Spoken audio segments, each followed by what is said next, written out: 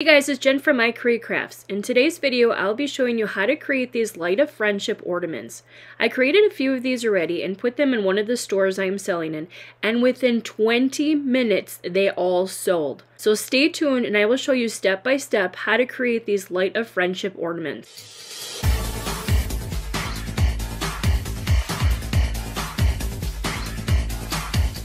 Alright, so here is the light of friendship that I'm going to be using with my bulbs that I already had glittered. Um, if you're new at this and you have never glittered a Christmas bulb before, go back to my other video where I show you how to easily glitter an ornament. I will leave the link below.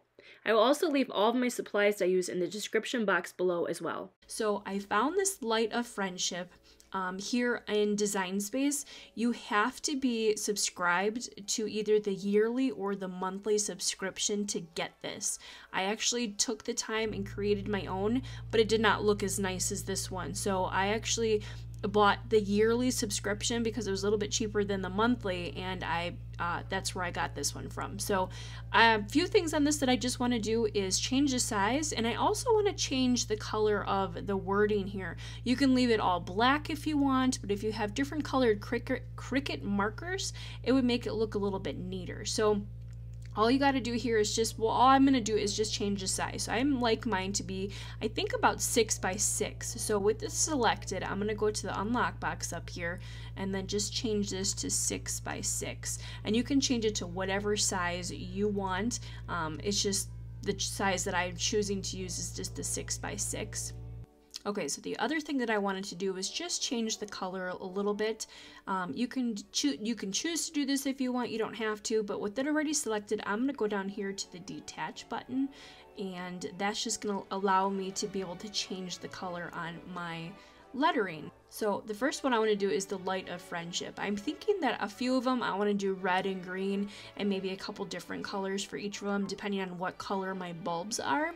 Um, so this one I'm just going to change this to red. So with this selected I'm going to go up to this little color box up here and it's going to ask me what color pen I'm going to be using.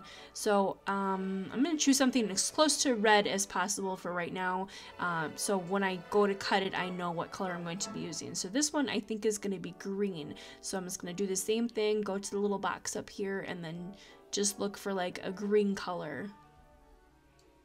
Ooh, it's kind of hard to see, so we'll do it so we can see it maybe. There we go. Um, so the last thing I want to do is just make sure that I attach everything because I detached it, it's going to cut it separately, which means that it will print out the writing on a different paper and then also cut it out on a different paper. So I want to make sure it does everything all together. So I'm going to go up to the select all button and then I'm just going to go down here to the attach button and that's just going to make sure that everything gets done on the same piece of paper. It's going to cut out the design for me and it's also going to cut or print the letters for me as well. As you can see here, it says line type and it means it's saying multiples. That's telling me that it's going to cut and draw. You can see it on the side here. This all says draw, so I don't have to do anything with that except for put my marker in. And then this piece is going to cut for me, so the blue. So I'm not going to change the blue color because I'm just going to use different kinds of cardstock for this. So I'm just going to go up to make it because that's all you have to do. If you want to change the color, if you want to keep it all black, that's okay too. However you want to do it. If you want to change the size to a different, like doesn't have to be six by six, I actually think I'm going to do it a little bit longer now that I'm looking at it. So I'm going to push the cancel button. I'm going to go back and make it just a little bit longer, I think um, to make it a little bit stronger maybe because the ornaments are pretty heavy themselves. So I'm just going to select it here, click the unlock box, and just drag it down and make it a little bit bigger. There we go. Then you can see the letters and the words a little bit better. So I'm going to go back to make it.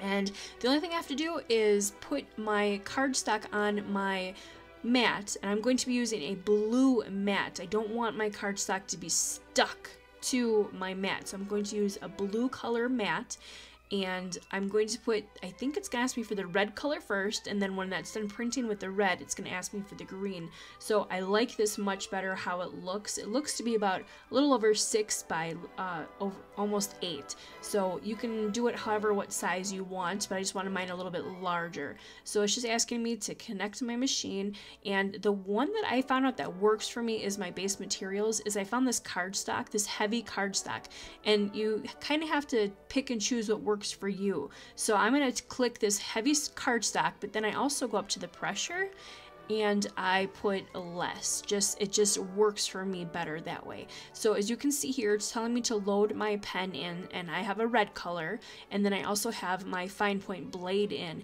So it's going to cut it out and it's going to do the red and then once the red color is finished, it's going to stop. It's going to, your machine's going to flash and it's going to tell you to change it to whatever color you have. So I'm going to go ahead and do that. I'm going to cut this out.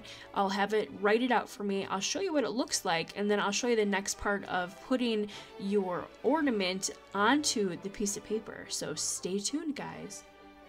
Alright guys, so I finished cutting these out. They turned out really cool. Um, I did different sizes and um, I had a little problem with the Cricut cutting these out. So it took me a little bit to get the settings correct. So you might have to play around with that for a little bit, but this is how they turned out. I love it and I'm definitely going to be making some more.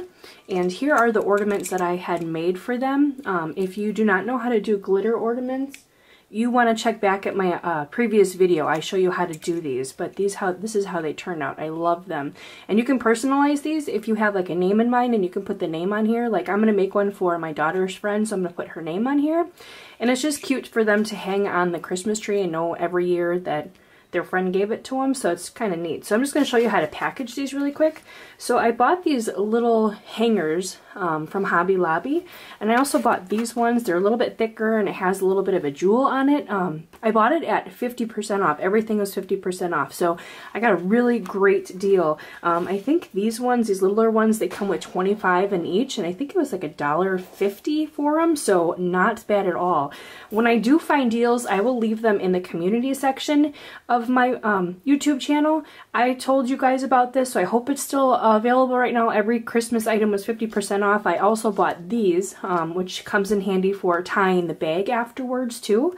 But always check out my stuff because when the Amazon Prime Day was too, I left all the really awesome deals below. And I actually bought a bunch of stuff from there and I bought a bunch of new mats because mine were getting kind of old.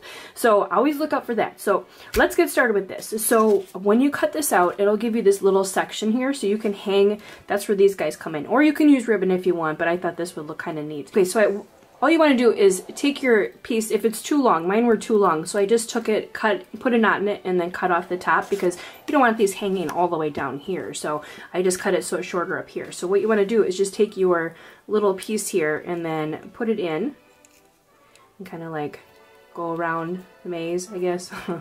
Get to the bottom part so it looks like that, and then you just put it into your paper. And you have to watch out what cardstock you use. I'm using really thick cardstock here. Um, I've tried other cardstock and it just doesn't work. I'm not sure the poundage on this, but it's thicker. So this is what it looks like afterwards. That's why I said if you want to cut the top off so it doesn't hang so far, or you can just use ribbon if you want. You don't have to go out and buy these, but I thought that looked kind of cute. So then I just have some dollar store bags here, just little gift bags. And I'm just going to put it in here just to make it look a little bit neater. Um, you can put it in a box or, you know, whatever you want. But I just thought it'd be kind of cool just to have it in a little package. So there it is like that. And then I just take the top and kind of crumple it up a little bit. And then I have the string that I just showed you. And then I just make a nice bow on it just to make sure it's secured.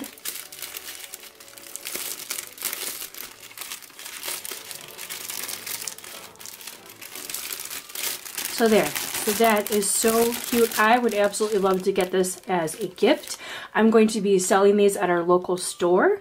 I'll let you guys know how it goes. Um, my ornaments last year, glitter ornaments last year sold really, really well. So I did make some more. Like I said, I have a video prior to this one if you don't know how to do these.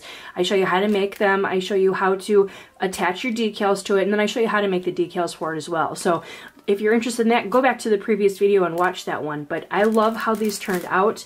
I'm going to finish these ones and just put the rest of these guys on here.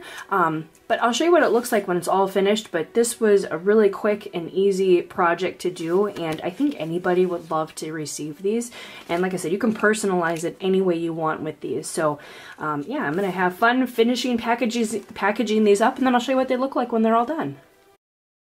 So how do you guys think these turned out? I absolutely love them myself. You can customize them any way you want and change the ornament color and the paper color as well. They sold really well for me, so I need to go ahead and make some more and take to the stores that I sell in.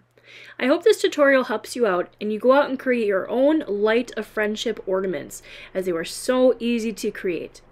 Happy crafting everyone and happy holidays!